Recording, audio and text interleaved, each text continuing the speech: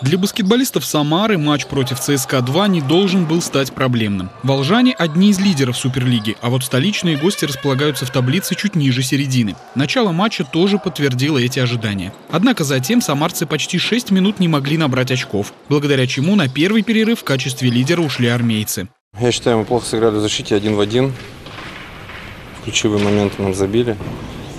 Ну и в нападении, конечно, у нас как-то не клеилось, не выполнили установку. И открытые несколько бросков таких, которые надо было забивать, мы промазали.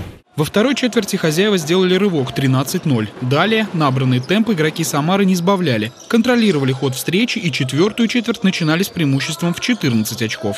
Однако в ней волжане больше 7 минут ни разу не поразили кольцо соперников. А вот армейцы набирали очки стабильно. Это привело к тому, что ЦСКА за 10 секунд до конца вели плюс 2. Спастись самарцы смогли лишь благодаря чудо-броску Дыбовского на последней секунде.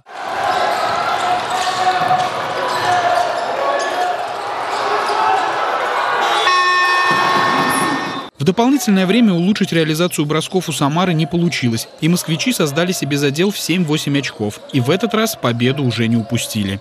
Команда была сильнее, команда была агрессивнее, настрой и все такое.